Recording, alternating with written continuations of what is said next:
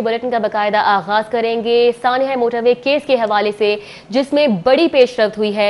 मुलजिम शफकत ने एतराफ जुर्म कर लिया है। पुलिस जराये की जानब से यह बताया जा रहा है कि मुलजिम के बारे में वकारुल हसन ने इंकशाफ किया था। पुलिस की जानब से मजीद कहा गया कि मुलजिम शफकत सबका रिकॉर्ड याफ्ता भी है। मुलजिम शफकत को पुलिस दीपालपुर से लाहौर लेकर आई है, जबकि मुलजिम शफकत ने आबिद के बारे में भी मजीद इंकशाफात कर दिए हैं। आबिद ने कुछ अरसा कबल भी दौरान डिकेती खातून को ज्यादती का निशाना निशाना बनाया था। शेखुपुरा फैक्ट्री एरिया में खातून को ज्यादती का निशान। मुलजम आबिद पर उस वक्त ज्यादती का मुकदमा दर्ज नहीं हुआ था। इस वक्त इरफान मलिक हमारे साथ मौजूद है, उनसे जानेंगे। इरफान बताएगा इस केस पर अभी तक क्या पेशरफ हो सकी है? जी, बिल्कुल बताएँ आपको कि आज जो जो पाँच रोज़ कबल एक अफसोसनाक वाक़ हुआ था, मोटरवे के ऊपर खातून के साथ गैंग रेप हुआ था। इस केस के अंदर पुलिस को एक बड़ा ब्रेक थ्रू मिला और उस ब्रेक थ्रू ये था कि मुलजिम शफकत को गिरफ़्तार कर लिया गया है, जिसका डीएनए भी मैच कर गया है और उसके साथ साथ मुलजिम की जानब से पुलिस को इब्तदाई जो बयान दिया गया है, उसके अंदर उसने बताया कि वो तीन लोग थे जिसमें आबिद था और एक और उनका दोस्त था, जिसके बारे में वो कहा जा रहा है कि बाला मिस्त्री था। जो कि मौके से उस, वहाँ से चला गया था। लेकिन इन दोनों अफराद ने वहाँ पे धाक लगा के बैठे, जब उन्होंने देखा कि एक गाड़ी वहाँ पे आके रुकी है, जो इंडिकेटर दे रही है। उसके बाद ये लोग उसके पास पहुँचे और उसके बाद उन्होंने खातून के साथ वारदात भी की और वारदात के बाद गैंग रेप भी किया। इस हवाले से आपको बताएँ कि पुलिस ने मुलजिम जो शफकत है, इसकी गिरफ्तारी तो अमल में ले आई है, लेकिन शफकत की जानब से जो पुलिस को बयान दिए जा रहे हैं, उसमें बड़े इंकशाफात हो रहे हैं कि शेखुपुरा के इलाके में भी एक माह कबल उनकी जानब से जो मुलिम मरकज़ी मुलजिम है आबिद, उसकी जानब से शेखुपुरा फैक्ट्री एरिया के इलाके में एक खातून को डकैती के दौरान रेप का निशाना बनाया गया था और इस तरह अब मजमू तौर पर डकैती, रेप के जो विक्टम्स हैं, उनकी तादाद चार हो चुकी है। और पुलिस की जानब से डी पी ओ बिहारी की अगर डी पी ओ शेखुपुरा की अगर कारकर्दगी देखा जाए तो डी पी ओ शेखुपुरा की जानब से इस वारदात में डकैती का मुकदमा जो था, नहीं दर्ज किया गया और सिर्फ़ डकैती की एफ़ आई आर जो है वो दर्ज की गई और ज़्यादा का मुकदमा जो है वो ना दर्ज किया गया, जिसकी वजह से ना तो मुलजिम के खिलाफ कोई ठोस कार्रवाई हुई और वो मुलजिम दोबारा इस तरह की वारदातों में मुलविस रहा। इस हवाले से पुलिस अफसरान का कहना था कि आबिद की गिरफ्तारी के लिए जो मरकज़ी मुलजिम है, जिसका डी एन ए भी मैच हो चुका है, उसकी गिरफ्तारी के लिए मुख्त मकाम के ऊपर छापे मारे जा रहे हैं, जिसमें शेखुपुरा, दीपालपुर बहावल नगर या दीगर इलाके हैं, वहाँ पर छापे मारे जा रहे हैं, लेकिन अभी तक आबिद की गिरफ्तारी जो है वो मुमकिन नहीं हो पाई और उम्मीद की जा रही है कि आज रात तक आबिद को गिरफ़्तार कर लिया जाएगा और उसको भी करार वाकई सजा दी जाएगी। करार वाकई सजा दी जाएगी। बहुत शुक्रिया इरफान मलिक हमारे साथ मौजूद थे आगाह कर रहे थे। वज़ीर अला पंजाब का मुलजिम शफकत अली की गिरफ्तारी पर ट्वीट। मुलजिम शफकत अली गिरफ़्तार और डीएनए भी मैच कर चुका है। वज़ीर अला पंजाब की जानब से ट्वीट किया गया है। मुलजिम शफकत ने एतराफ़ जुर्म भी कर लिया है। वजी अला की जानब से मजीद कहा गया है कि मुलिम आबिद अली की गिरफ्तारी के लिए टीमें मुसलसल कोशा हैं। इन जल्द मुलिम आबिद अली को भी गिरफ़्तार कर लिया जाएगा। वजी अला की जानब से अपने ट्वीट में ये यकीन दहानी कराई गई है। वजी अला पंजाब ने मुलिम शफकत अली की गिरफ्तारी पर यह ट्वीट किया है और मजीद लिखा है कि मुलिम शफकत अली गिरफ़्तार और डी एन ए भी मैच कर चुका है। अपोजिशन लीडर हमजा शहबाज का मेडिकल बोर्ड की जानब से चेकअप किया गया। मेडिकल बोर्ड ने कोट लखपत जेल में हमजा शहबाज का मुआयना किया। प्रोफेसर डॉक्टर अब्बास रजा की सरबराही में मेडिकल बोर्ड ने मुआयना किया। मुआयना किया गया है। डॉक्टर्स की जानब से क्या कहा जा रहा है? जानेंगे जाहिद चौधरी हमारे साथ मौजूद हैं। जाहिद चौधरी साहब अपडेट कीजिएगा। पंजाब असम्बली में अपोजिशन लीडर हमजा शहबाज शरीफ शरीफ का आज कोट लखपत जेल में जना अस्पताल के मेडिकल बोर्ड ने चेकअप मुकम्मल कर लिया। प्रोफेसर डॉक्टर अब्बास रज़ा की सरबराही में मेडिकल बोर्ड की जानब से ये तस्दीक की गई है कि हमज़ा शहबाज जो हैं, वो कोरोना वायरस में मुबतला हैं और उनका टेस्ट भी पॉजिटिव आया है। इसके अलावा मेडिकल बोर्ड की जानब से जो है, वो फ़िलहाल उनकी सेहत को बेहतर करार दिया गया है और मेडिकल बोर्ड ने जो अपनी इब्तदाई रिपोर्ट दी है, उसमें फ़िलहाल हमज़ा शहबाज को हॉस्पिटलाइज करने की तजवीज़ नहीं दी। ताहम मेडिकल बोर्ड ने हमजा शहबाज के क्लिनिकल टेस्ट एडवाइस किए हैं और ये कहा है कि ये फर्दर जो टेस्ट हैं वो करवाए जाएँगे और उसके बाद जो है वो मज़ीद देखा जाएगा कि हमजा शहबाज को जो है वो किस तरह की तबी अमदाद जो है वो फ्राहम की जानी चाहिए। ठीक है जाहिद चौधरी, अपडेट करने के लिए बहुत शुक्रिया।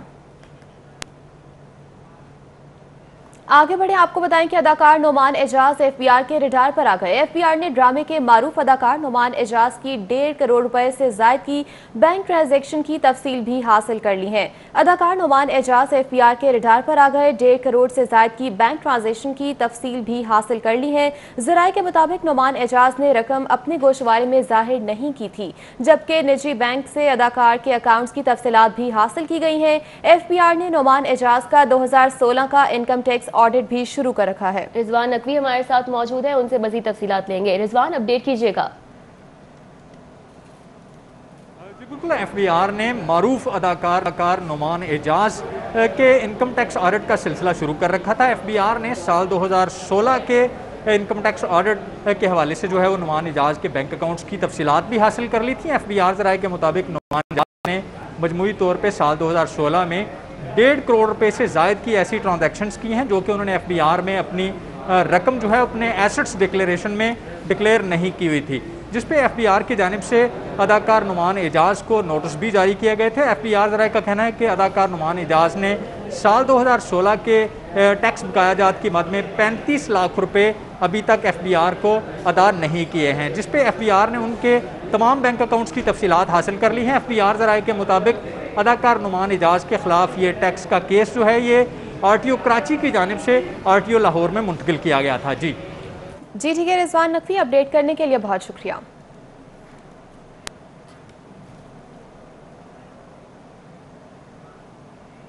गुजरपुरा में निजी टॉर्चर सेल बनाने पर सीसीपीओ इन एक्शन है।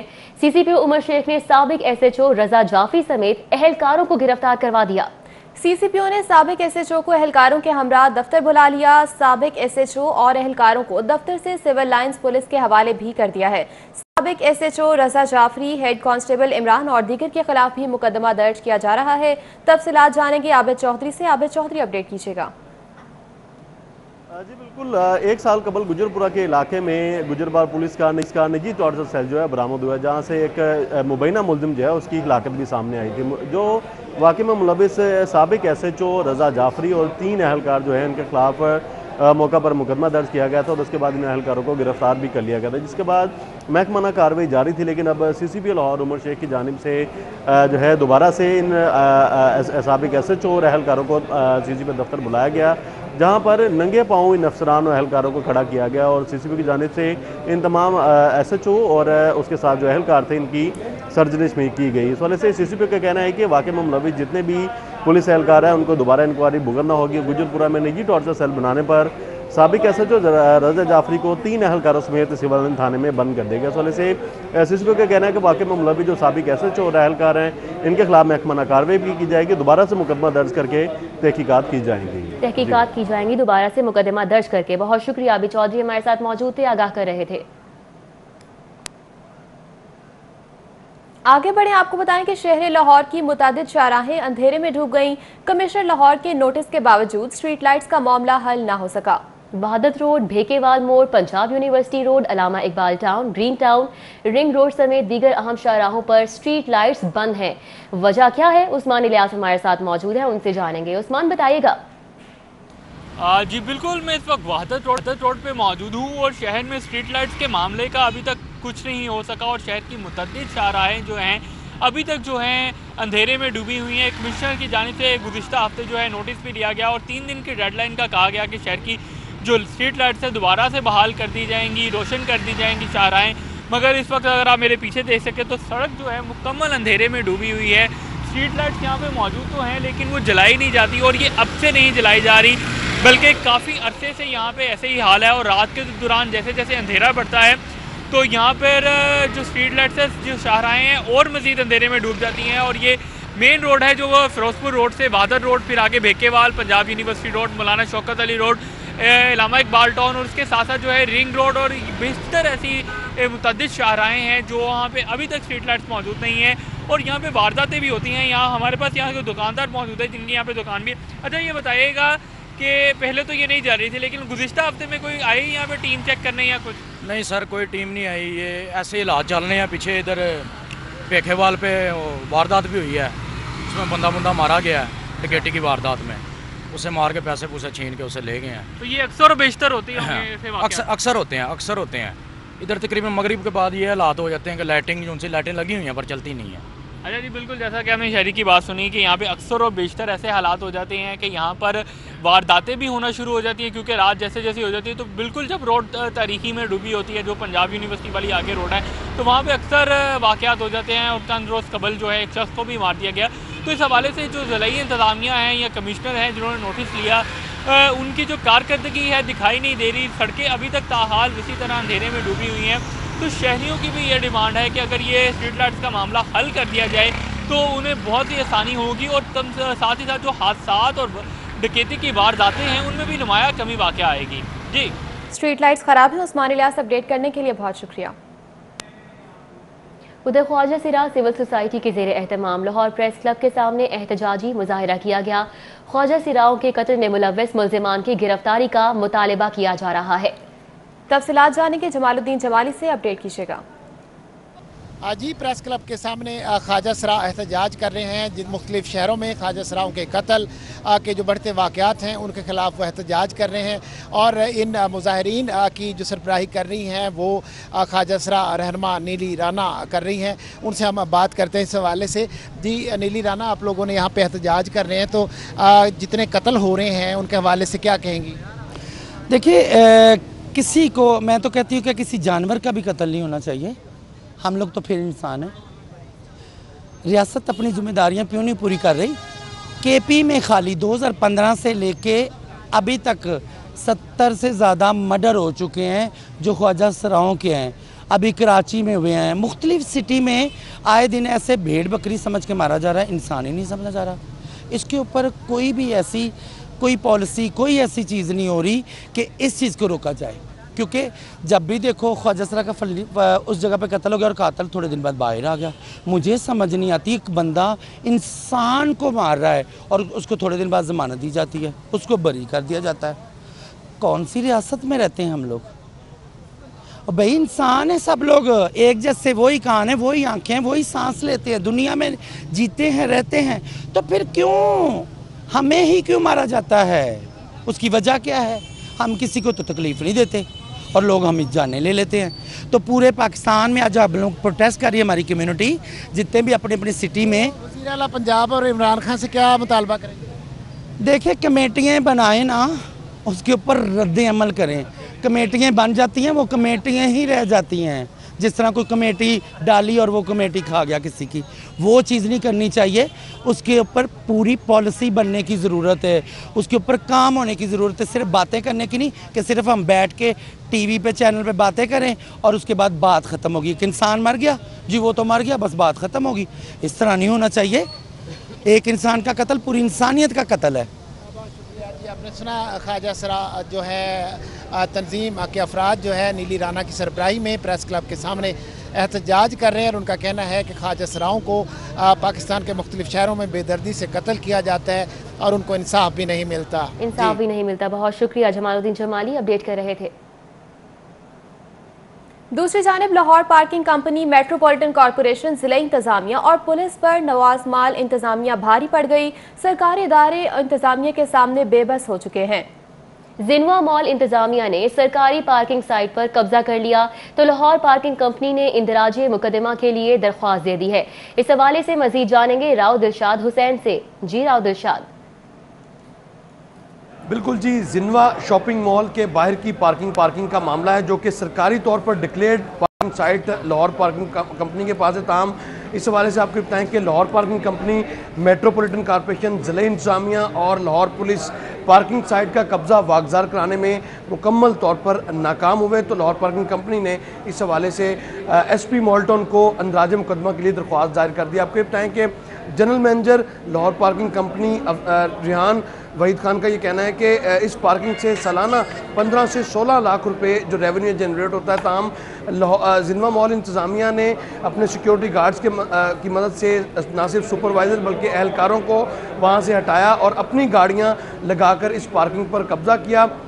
जिस पर कमिश्नर लाहौर के नोटिस में भी ये कब्ज़ा का मामला जो है वो लाया जा चुका है। ताम इस हवाले से मेट्रोपॉलिटन कॉरपोरेशन ज़िला इंतज़ामिया और पुलिस की जानब से कोई ख़ास मदद जो है वो हासिल नहीं हुई जिसकी वजह से अब अंदराज मुकदमा के लिए दरख्वास्त दायर किए ताकि कब्ज़ा जो है वो पुलिस की मदद से वागजार करवाया जा सके। ताकि कब्जा पुलिस की मदद से वागुजार करवाया जा सके। बहुत शुक्रिया राव दिलशाद हुसैन।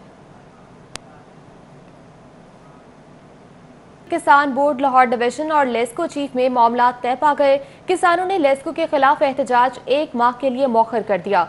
सदर किसान बोर्ड लाहौर डिवीज़न मियाँ रशीद मनहाला की वक्त के हमरा लेस्को हेडक्वार्टर्स में मुजाहिद परवेज चट्टा से मुलाकात हुई।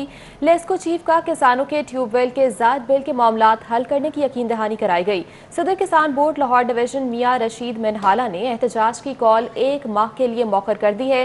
किसान बोर्ड लाहौर डिवीज़न के वक्त ने लेस्को चीफ मुजाहिद परवेज चट्टा से हेडक्वार्टर्स में मुलाकात की, जिसमें ट्यूबवेल्स को होने वाले ओवर बिलिंग पर तबादला ख्याल किया गया। किसान बोर्ड लाहौर डिवीज़न और लेस्को चीफ मुजाहिद परवेज चट्टा के दरमियान गलत बिलिंग करने की रोकथाम के लिए मामला तय पा गए, जिसके बाद किसानों ने लेस्को के खिलाफ एहतजाज एक माह के लिए मौखर कर दिया है।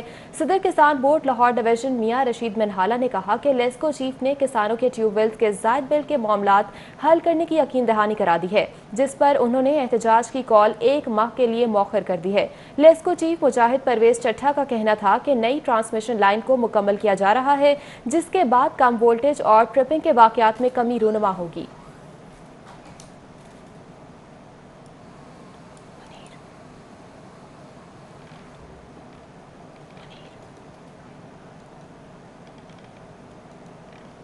खेल के मैदान से खबर यह है कि मुनीर लायंस क्रिकेट क्लब ने दोस्ती सीरीज़ के पहले मैच में खयाबान अमीन क्लब को तीन विकेटों से शिकस्त दे दी। खयाबान अमीन क्लब ने पहले खेलते हुए मुकर्रा पैंतीस ओवर्स में दो सौ इकसठ रन बनाए। यासिर अजमल चौहत्तर, मोहम्मद मोहसिन तिरपन और नेक मोहम्मद तीस रन बनाकर नुमाया रहे। मुनीर लायंस क्लब के अली रजा ने तीन, अली हैदर ने दो और मुबशर अली ने एक खिलाड़ी को आउट किया। जवाब में मुनीर लायंस क्लब ने तीन विकेटों के नुकसान पर दो रन बनाकर मैच में कामयाबी हासिल की। बिलाल मुनी पैंसठ, तकी हैदर तिरपन और सात सिद्दीक तैंतालीस रन बनाकर नुमाया रहे। खैबान अमीन क्लब के यासिर अजमल ने तीन और इरफान जूनियर ने दो खिलाड़ियों को आउट किया।